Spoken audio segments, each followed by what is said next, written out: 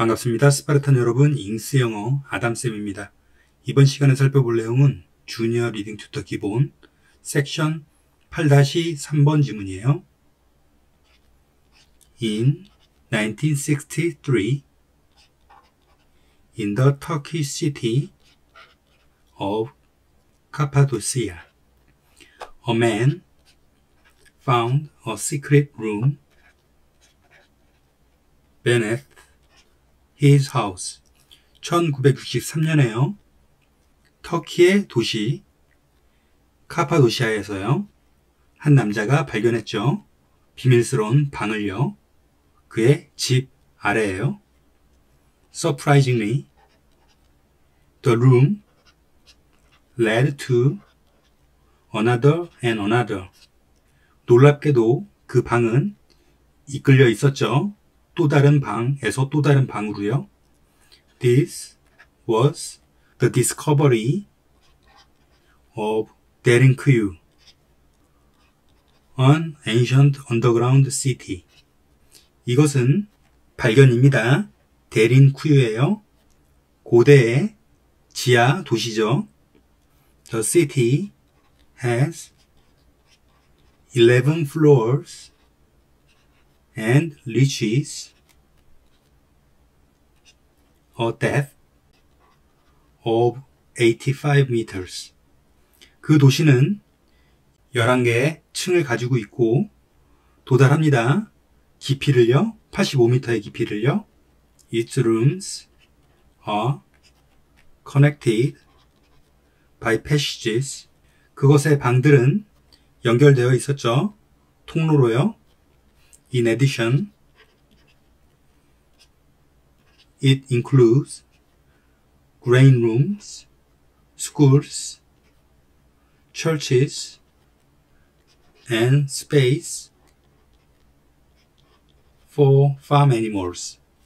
추가적으로 그 도시는 포함하고 있었어요. 곡식 창고, 학교, 교회, 그리고 공간이죠. 농장 동물을 위한요. It even has 1500 air tunnels that provide fresh air. 그것은 심지어 가지고 있어요. 1500개의 공기 터널을요. 그 터널은 제공했죠. 신선한 공기를요. Derinkuyu was originally built as a place to hide from the sun. 데린쿠유는 원래 지어졌죠. 장소로서요. 숨기 위해서요. 태양으로부터요. And later it was used by early Christians to hide from the Romans. 그리고 이후에 그 도시는 사용되었어요. 초기의 크리스찬들에 의해서요. 숨기 위해서요. 로마 사람들로부터요. All together, the city is big enough to hold 30,000 people. 모두 함께 그 도시는 충분히 컸어요. 3만 명의 사람을 수용할 수 있을 정도로요. It even had doors that could be locked from the inside to prevent enemies from entering. 그 도시는 심지어 가지고 있었죠. 문들을요. 근데 그 문들은 잠겨질 수 있었어요. 안쪽으로부터요.